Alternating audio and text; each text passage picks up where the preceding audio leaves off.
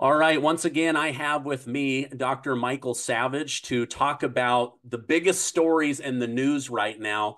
Uh, Dr. Savage, I'm having a hard time wrapping my head around everything going on. Are, are we just being overwhelmed with information and uh, tragedy on a daily basis so that we can't think straight? Well, if I could answer that question, I would be uh, God you mean why is this happening to America right now? Is it on purpose? Is it by chance? I believe the left is doing it on purpose to overwhelm the system. They know that by causing complete chaos, they can uh, reform society in their own image, which is exactly what they are doing. Obama said he wanted to break it all down to bring it, build it back up. Um, you know, I, I had dinner with a friend of mine the other day, Dr. Dinshaw. He's a colonel in, in the military, retired a medical guy, and he quoted Voltaire when he said, Those who can make you believe absurdities can make you commit atrocities. And we were talking about Hitler. I said, Wait, say that again, Tony. I don't understand it exactly. Those who can make you believe absurdities can make you commit atrocities. Okay, Biden, the border is secure. There is no inflation the greatest threat to America are white males. Uh, let's go down the list. Uh, men who think they are women are women. They should be celebrated. These are the things that are upsetting us. Climate change will end the world. Was supposed to have happened yesterday. All police are violent and try to kill black people and minorities. These are the absurdities that could lead, well, are leading to atrocities, meaning all these executions of police on the roads. They stop to help a, a, driver and get killed. It's an epidemic right now. The attacks upon people in the New York subways, it's being conducted primarily by a particular class of people, if you want to put it that way. And where did they get in their head that they should do these things? Why are they free to uh, uh roam the subways and attack people? Because they're told that they're oppressed victims and everyone else is an oppressor who took something from them. And so they're committing atrocities. If this is not arrested, uh, Stephen, we know where this could lead. Yeah. BLM protests were mostly peaceful when we know they were almost burned cities to the ground. Masks stop COVID 19 when they know that the virus is too small, uh, is so small it goes through the pores of the mask. Yet people continue to wear masks in their own cars in liberal enclaves. I live in an liberal enclave. You see people driving alone in a car with a mask on, and you want to say, Sir, you're going to die of carbon dioxide overload. Absurdities. So they're committing atrocities upon themselves. So you asked the question, which is it happening by chance? No, I don't believe so. I believe the left is running the show, and uh, we are reeling from the blows. Yeah, yeah, I, I agree with you. Um, here's an absurdity that you maybe saw. Uh, Tyson Foods, one of the most well-known brands in all of America. Everybody knows Tyson. It's a household brand. Oh, they yeah. say, listen, times have gotten uh, difficult. Uh, inflation has gotten out of control. Uh, we need to fire 1,200 small town American workers. It breaks our heart. We don't want to have to do this. But what, what else are we supposed to do? This is the difficulty of running a business in America. Then it leaks. It leaks that they are going to hire 52,000 illegal immigrants. Mm. And nobody nobody seems to care. The government goes, "Well, that that makes sense. Yeah. Get rid of those horrible 1200 Americans sucking up all of that money, trying to make a living, pay their pay for their families, raise children uh, bring in the illegals. We can get you 52,000 of them for the cost of 1,200 Americans. What, what's your thoughts on this? It's a statement that completes itself. It's called uh, greed, corporate greed. And when you only look at the bottom line, not at the social aspects of your business as well, what you wind up with is cutting costs wherever and whenever you can. This is certainly not new to America. I mean, you, if you, you go back let's say just to the 1880s when Chinese laborers were brought here to undercut Irish laborers to do manual labor. That's what they did. They brought in Chinese laborers uh, who worked for next to nothing and fired Irish. It almost caused, it did cause race wars in San Francisco, for example, when Irish workers were fired from building uh, the the uh, cable cars that we have here, laying down the tracks. They were doing the work. They were making a, a minimal wage. They were living on it. They had families. Well, they were fired to bring in Chinese who would work for next to nothing, cause race wars at that time. So, Stephen, you know, this has happened before. This is what government is supposed to not do to a society. A good government tries to avoid conflict between classes and races, not foment war between class, classes and races, right? So, who is behind it? I would have to say it's the Uniparty. You can't just say it's Biden. You know, the Republicans are equally culpable, I would guess, right? Or, yeah, I mean, I'm pretty sure that Tyson's deeply involved with both parties, right? Yeah, the the uh, the Chamber of Commerce, uh, which used to be predominantly made up of Republican leaders, they are constantly looking for immigrant workers that can lower the cost of their big corporate, um, you know, members. So maybe they're behind this as well. You know, Stephen, years ago I joked sarcastically on the radio that the day would come that if we keep thinking about the bottom line only, that the government would eventually outsource the military and the defense department and say, you know, the Chinese can run our navy at a much more efficient rate than we can. They can pay less. The uh, so the sailors are much more obedient. So we're firing all of the sailors in the U.S. Navy. We're replacing them. We're giving the, it to the Chinese government to run our navy because it's more efficient. They'll do it cheaper. I mean, you say absurd. That's reductio ad absurdum logic, but that's where we're going. So, what can a government do in this uh, situation? It's the government who brought in the illegal aliens. It's the Biden administration who brought in the 52,000 along with the other uh, 9 million, uh, 580,000 or whatever, 10 million illegal aliens. Where are they all? Where are they all? Yeah, uh, they're they're everywhere. They're uh, they're in my children's school. I had my 12 year old daughter say to me, you know, I, have really been struggling with school lately. I said, how come can you not go to the teacher?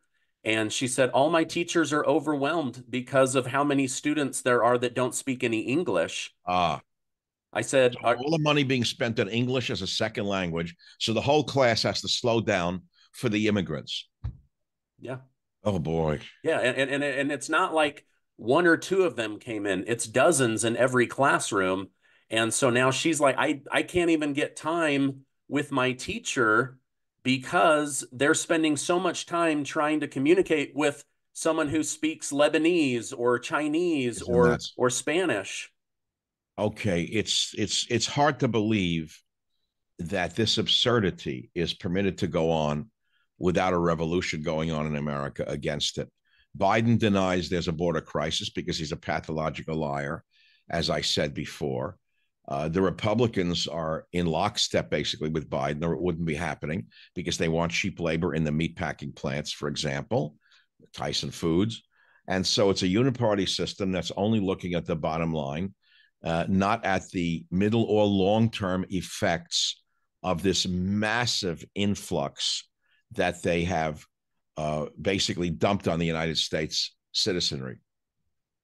Yeah, it, it's uh, I don't know what to make of it all. It it it, it reminds me so much of gaslighting. It's just it's on a daily basis. Um, I, I want to talk. Me, can I okay. can I go back to something? You know, you talked about my my book, which I have to mention, A Savage Republic. There's a chapter in it called "The Civil War is Here." The leftist insurgency. It almost feels as though they want a civil war in order to declare martial law before the election. You know, it's like a, it's an insurrection unto itself you talk about insurrection on January 6th that they're blaming Trump for. If this is not an insurrection of flooding America with 10 million illegal aliens, I mean, I'd like to know what an insurrection looks like. Yeah, yeah. 12, 1,200 people have been arrested for the Capitol. Most of them are now a misdemeanor or nothing. Meanwhile, 10 million people can come into the country, and we're all supposed to pretend like it's nothing. Nothing. Well, we're we, they give us the big lie. We're a nation of immigrants. That's one of the biggest lies. I'm the son of an immigrant.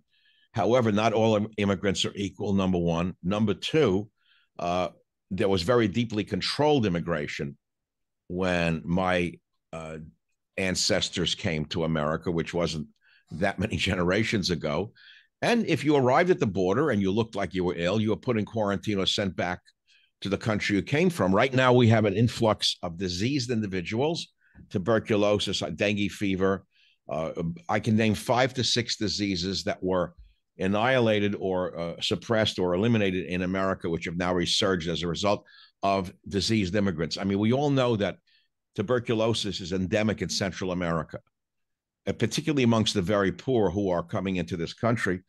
Their own countries are deporting them, encouraging them to come here because they have no skills, Stephen.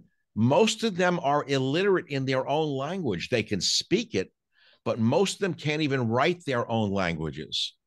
People don't know that. They're illiterate in their own native language. They are the bottom of the bottom of the bottom of the barrel of their own society. So their own countries are saying, we can't take care of them. Let the morons in America take care of them. They want them. They'll give them welfare, free phones, free hotels. And if they want to work, and we give them, they'll give them a job. We don't have no and no place for them. So look, my mantra for years was borders, language, and culture. I said a nation is defined by that, Stephen. It was a very true statement, and it's more true today to most people than than it was at the time when I said it, when they said, What the hell is he talking about? There's not a nation on earth that can survive the, the destruction of its borders, meaning the elimination of its borders, the uh, polyglot languages, like you just said with your child in school.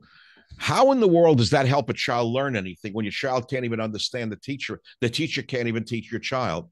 The teacher's busy teaching them English as a second language and culture. We're told our culture, A, doesn't exist. The left says, oh, we don't have a culture. And if it does exist, it's all bad and all racist, annihilating all of Western civilization, going back to the ancient Greeks. So, yes, it's to the thinking person a very troubling time or troubling times that we are living in. It's not imagined, it's not hyperbolic to say so. And we don't seem to see any relief on the horizon, do we?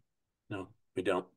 Uh, speaking of no relief, uh, Attorney General Letitia James in New York runs on a ticket of I will I will hurt Donald Trump financially before there's any any you know crime, any hint of a crime.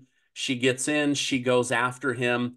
There's no there's no jury, there's no real court case, just a Trump hating judge who decides 350 million in fines, 100 million in interest they change the law beforehand hmm. so that he has to put up all the money. Uh, this morning, breaking news nobody is willing to give Donald Trump a, a bond unless he liquidates a billion dollars in real estate.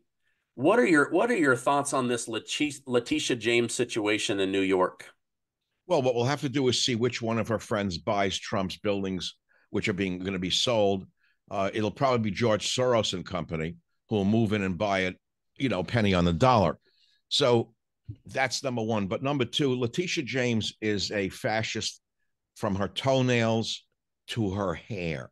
What she has done to Trump is equivalent to what Stalin's henchman, the murderer, uh, Beria, B E R I A, did, who said, Show me the man and I will show you the crime.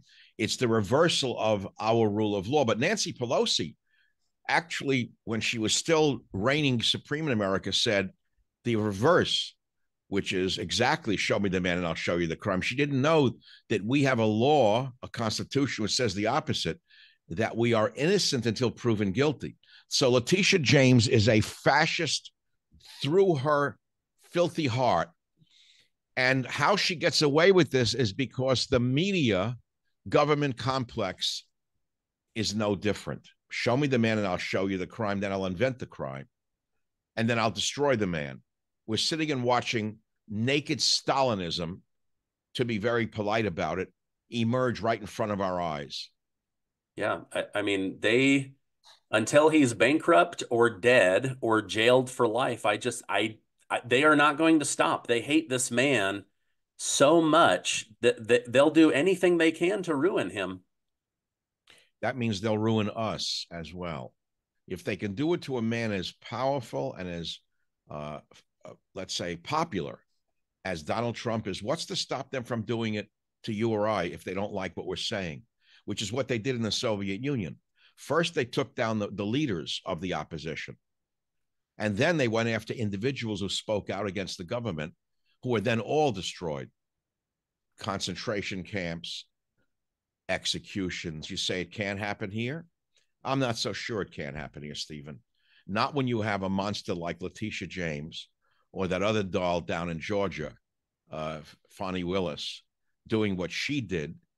Isn't it interesting that it's minorities that are being used by the radical left to do their bidding? How smart the George Soros mob really is, that they use the untouchables in America to bring down their political opponents. Yeah, I did. I did notice that because at Harvard they teach the hierarchy of power, right? Uh, a white male is the most dangerous uh, thing on planet Earth, and the most oppressed is a black female. So what do they do? They go after Trump with all of the black females uh, that they can um, before anyone's even decided on merit. We're going to put a black female on the Supreme Court. Had nothing to do with meritocracy, no. years of experience, uh, court cases, history, none of that. Nothing. Just zero. Are you a woman, which we can't define, and are you black, which we can see with our naked eye? Those two come together boom that that's who we're going to pick. Well i don't mind if she was a black female but she was stupid on top of it all the one they put on the supreme court. She had no history of of any any jurisprudence that would be noteworthy. She never published a, a finding that anyone will ever remember. So they picked a dummy in other words to put on the court to act on their behest. It's that simple. It has nothing to do with race. It has to do with intellect. She has none. So letitia james has has tremendous intellect of hatred her IQ and hatred is probably off the charts. She has one one animus in her, which is to hate white males. And her biggest target was the most powerful white male in America, Donald Trump. So, what do we do about it, Stephen? We're talking about it because we're still allowed to talk about it. You know, again, I, I have to keep coming back to a guy's book who wrote Inside the Plot to Destroy America. To me, this is the, the civil war that people say is coming. It's not coming, it's here. This is a civil war that's being fought basically without firing a shot. They're destroying the country from within.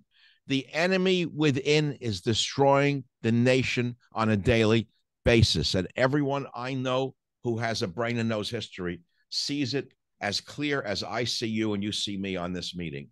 Yeah.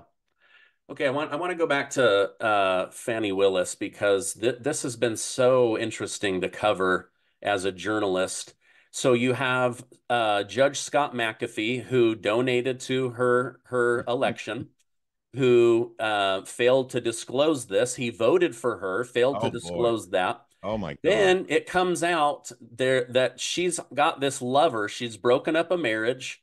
She's got this lover. He's had two secret meetings with the White House. She's held secret meetings with the January 6th committee and also with the mayor of Atlanta, as well as Vice President Kamala Harris. Oh. They ah. all decide, let's go after Donald Trump, and we'll we'll go at it through Georgia and and Fani Willis. She pays her lover double, double, even though he didn't have any experience. He then uses that money to take them on luxury vacations, and the judge is saying you know what? As long as Nate Wade steps down, she can continue to persecute and prosecute Donald Trump. What What are your thoughts on that? You've said it all. You've said it all. There's nothing to be added to it. It's total corruption. Power corrupts. Absolute power corrupts. Absolutely. I'm quoting uh, Lord Acton. Power corrupts. Absolute power corrupts. Absolutely. So when you own the political system, as is owned in Atlanta, as is owned in New York City, as is owned in San Francisco, Los Angeles, Chicago. When you have mob rule, what you have is the rule of the mob. And that's what we are seeing, Stephen. This is mob rule by gangsters who are using not guns, but laptops to destroy their enemies. Yeah, the the pen is mightier than the sword. Now it's the laptop. Now it's the media, right? They just have to kill you they they literally just have to uh, rape rape you with the media and uh, they, they can get away with it. it well, it's insane. It's, it's, the diversity con. It's the DEI con. It's uh, uh, all of this quote affirmative action. And then underneath it all is you have these people marching with signs abolish colonialism, abolish capitalism, abolish imperialism. They don't even know what the words mean. Uh, however, if they were to actually look at Western civilization, it's what we are all standing upon, isn't it? Without the advances of Western civilization, we would be living in trees and throwing spears at each other. Yeah.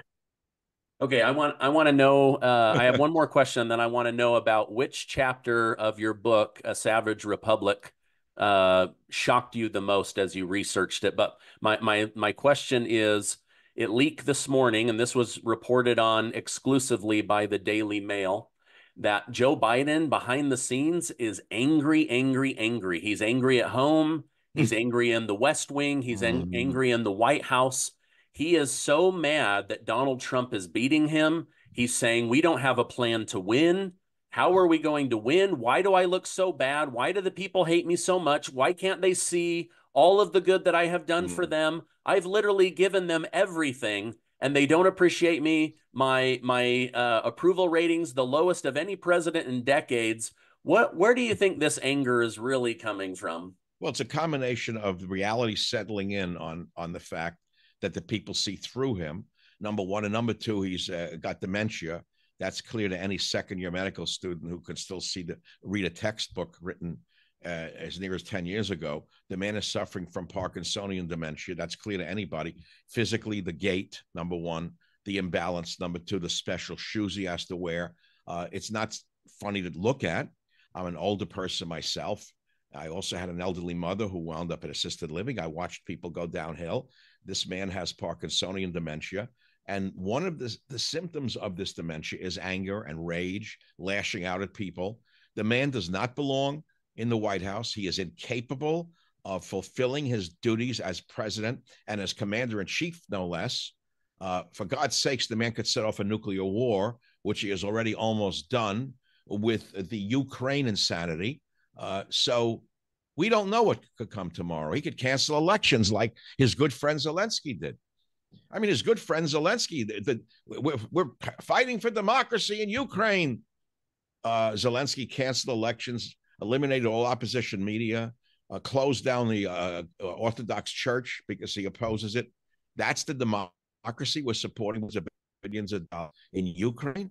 So you figure if he get away with that big lie in Ukraine, why not try it here? Why not cancel the elections and say Trump is too dangerous a man to even be on the ticket? And although we believe in democracy, we're going to uh, delay the elections for another six months to make sure that we have a viable candidate on the Republican side. What's to stop them from doing it? When they own Wolf Blitzer, when they own Jake Tapper, when they own ABC, CBS, NBC, and they own Fox, and they own all of the other uh, controlled opposition. Tell me what, you know, Stephen, what's to stop them? I don't know. I, I, I, I just we don't know. Thing, I think this is just going to steamroll the American people. Well, they demonized the citizenry, and now he uh, doesn't understand that this is not an empire for him to rule like a Caesar. It's actually a republic. It's not a democracy, as anyone who studied this knows. This is a republic, not a democracy. They're distinctly different things. And he's trying to rule it as though it's an empire, and he's a Nero, meaning Biden thought he was Nero and had the worship of the people because his handlers all said, You are great. Oh man, that was a great speech. You're wonderful. And now he wakes up and he sees the people themselves in the polls, even internal polls, are saying, No, they're not buying your act, Joe. They're saying, Joe, they're not buying your act. You better go. And he doesn't want to step aside. Yeah, he won't step aside. His family should say, It's over. You know, no one wants to let go when they're older. But there comes a time, eh, whether it's a family business, where the father has to relinquish control of the business to a son who's younger, smarter, wiser, and healthier than him. He doesn't want to do it. He'll hold on. But if he's a smart father and he has a family business that he wants to survive. He says, you know, for the sake of the business, the sake of the family, I'm going to pass the, the baton to my son. Biden should have passed the baton a couple of years ago when we saw him slipping. And I don't mean just slipping and falling uh, metaphorically. Yeah. I know it, it's sad to watch. It, it, it feels like elder abuse to me. I, I, I try not to laugh, but no, you can't. It, it's embarrassing that I mean I read international news every day. You, I mean I know you probably do too. They just mock him every day, and then we have all this insulation from the mainstream media in America propping him up as if he's the best thing since sliced bread. it's very it's very odd to me. Um, I, I want to know as you researched and put together your book, A Savage Republic, what what was the one area that maybe stood out to you the most or or shocked you the most? You mean about the nation? Yes. Well, I think it's it's common knowledge today uh, that there's no such thing as democratic socialism, for example, which was one of the big lies put forth by Bernie Sanders. People don't know Bernie Sanders is more or less running the Biden administration economically. You're an you're an economics guy. People don't know Bernie Sanders didn't disappear. He's on the Senate Finance Committee, is he not? He's yes. on one of the most powerful committees in the country, the budget. So he sets the the the, the budget, which controls how the country runs. And this is a liar, a filthy, degenerate bum, Bernie Sanders, who came up with a big lie called democratic socialism, saying we're not, social, we're democratic socialists.